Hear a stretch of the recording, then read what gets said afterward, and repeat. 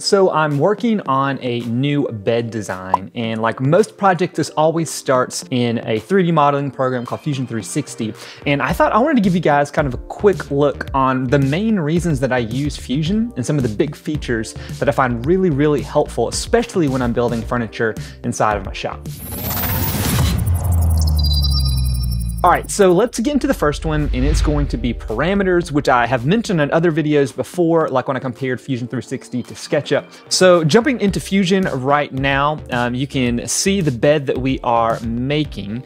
And the big thing is, if you go up here to modify and you go to change parameters, and what parameters are, they basically uh, let you assign values to a parameter. So if I'm going to make like my bed width and length, instead of just hard typing in that they are 38 inches and 75 inches, I can actually make that a parameter. So this entire bed right here, this mattress, this whole frame is sized around that bed. And this is actually a twin size bed. So let's say I actually wanted to change uh, maybe the length of the bed. We get something a little bit wider. So maybe it goes to 45 inches. And when I hit enter, you're gonna see that not only does the bed extend, but a ton of other things extended. So the overall frame extended, and if I turn the mattress off as well as the top frame. And there's actually drawers in here. Um, those extended out. This drawer over here, those extended out. And all of those parameter changes go all the way through even to the plans, which we'll get into here in a minute. So another parameter that I find really helpful is doing the actual thickness of the wood. In this case, this is three quarters of an inch plywood, and then the actual drawers will go in there. Um, this is actually half inch plywood. But again, I made that a parameter. So let's say for whatever reason, um, my plywood thickness maybe it's like not quite at 0.75, maybe it's 0.71. And then everywhere that I have that applied, you can kind of see it, it just shrunk. And actually, if I just make it 0.1, you'll definitely be able to see it. And so you can see now that that thickness is crazy, but everything is still connected, everything is still working and it's looking really well. So as we're going through this, you might be wondering how I actually model the bed. And so I've got a link down below. You can check out kind of a full tutorial where I've broken out different videos into different steps on how I did this thing for free. All right, so the second thing that I find really helpful when doing furniture designs, especially furniture designs that are gonna have moving parts like drawers uh, or even like hinges, is actually working with joints. So there's an entire assembly joints module inside of Fusion 360 360. And what I find really helpful is, especially if I'm doing drawers. So we just took all of the top pieces off, but you can see we actually have several different drawers in here. And that was something kind of unique about this design is um, we wanted to have some baskets going in, but then there's a lot of like dead empty space back here. And then there's also these drawers right here. And I've set some of these actually up with a joint. So what's nice is I can kind of get an idea of how much space this is gonna take up if I have it all the way extended. Uh, and then when it's all the way pushed back, I can kind of get in here and figure out, all right, how much room do I have to work with? Where's all this stuff gonna go? Uh, and then even things like this, uh, we wanted to have like a little charging station that could slide out. It's not gonna be out all the whole time. And so this one is actually set up with a min and a max. And so um, I can't actually pull this any further. So I can actually see the limits I find that being able to, to have especially things slide or hinge in and out are really helpful when I'm doing designs and figuring out where I want things to go, how far things can stick out. And really what I like the most is, let's say, I knew that I wanted maybe this to come out that far, whatever that distance is, but then um, just having the joint connected, I then know how, basically how far back um, I need to make a wall or figure out the frame on the internals. So the next element that I find really useful is the ability to do renders. Uh, there's a couple things that I use for that. The biggest is really figuring out um, especially if we're going to paint it, um, what it's going to look like. So this isn't going to be what it finally is, and it's really easy to change stuff up. If you go into the appearance um, area, you can actually pull in a ton of different styles, a ton of different things, and you can apply appearances to things. So I do the powder coat smooth a good bit. This lets me just drop in colors. Let's say I want to make um, this blue for whatever reason. And so then you can change up all the colors really quick. And you can see what a blue frame would look like and it would look really bad. What I really like about this is you can actually start to stage your designs and then take it into a full rendering environment and get an idea of how this works. So um, this is a, a, different version and basically what I built is a couple walls, almost like a little set um, with some molding at the bottom. And then because I've got this drawer that's gonna pull in and out, I wanted to actually have something on top of it so you get an idea of what it looks like. So um, you can pull in models from Fusion 360.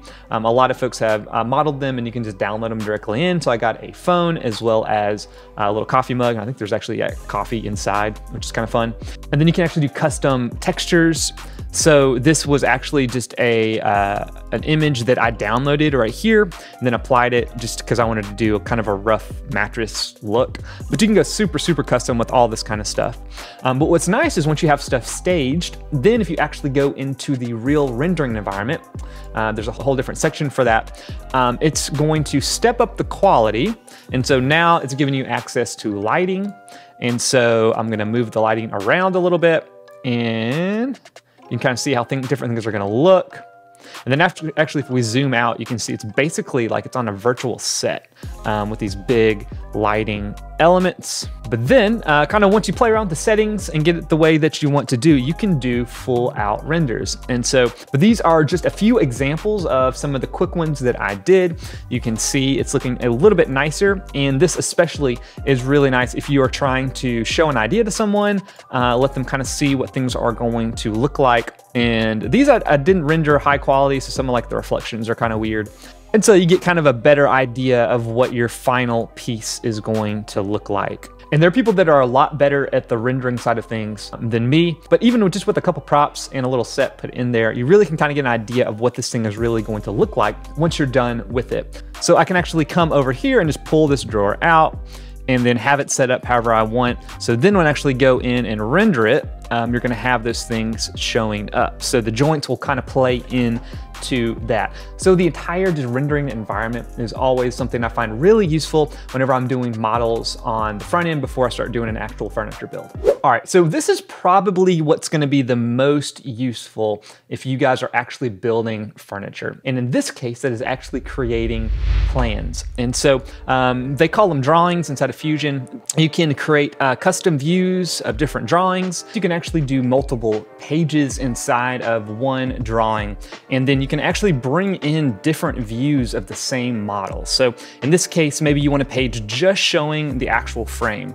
Um, and so I haven't formatted all this so it doesn't look um, super nice yet, but you can see you've got these callouts are all automatic. It brings all of these in, and then um, you can actually have everything listed out. And then you can go in with the description, which I did in the next one, and then you actually type in what the dimensions are gonna be, so you can make a cut list, uh, really easy doing it like that. And then this is uh, the drawers on the side. I've got a custom one for that as well. And then I was working on the bigger drawers in the middle, a custom one for that as well with overall dimensions. Just to show you how easy it is, um, I'm just gonna come up here, make a new base view. I'm gonna drop it in right here and you can change how it looks. And if you do one that isn't isometric, so it's like front, right, left, whatever, uh, actually we'll do a front one. And then you can have it either look uh, rendered or it can be um, just the lines. But then you can just go in here and hit D for dimension, and then you can start dropping in dimensions wherever you want them to go. A lot of times before, I would basically have to take screenshots, then go back and manually add in the dimensions, having to like remeasure everything if I'm using something like SketchUp. But in this case, I don't have to do that. So then if you guys remember our parameters, this is where it becomes really, really helpful. And a lot of people will be like, I can model so much faster in a program like SketchUp. Um, it sure seems it takes you a long time to set everything up before you can get going, which is the case. You can uh, model pretty quick in something like SketchUp, but this is where Fusion is super powerful. So let's actually go back into my model. I'm going to modify the parameter. In this case, we want to change the overall width. So we're going to make this 42 instead of 38 which is what we did earlier. This is gonna update. And now if I actually save this, come back here and it's gonna say, hey, you have a reference you need to update. So I click that, it updates, and now watch this dimension right here.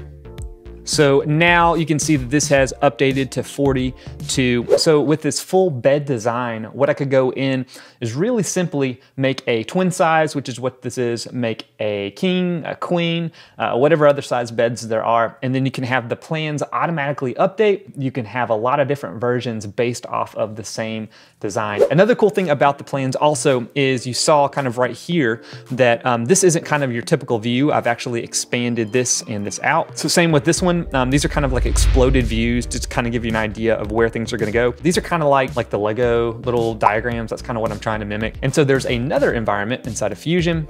If you come over here to animation, and you can see I've got different storyboards set up right here. What these do, you can actually create little animations so you can have things spin around, you can have parts move. But what I find really nice about this, if I make a new one, is um, I can actually go in and I can move uh, different pieces. So let's say I want this actually to be over here. And maybe I want this to be up here for whatever reason. And then maybe I want this to be over here.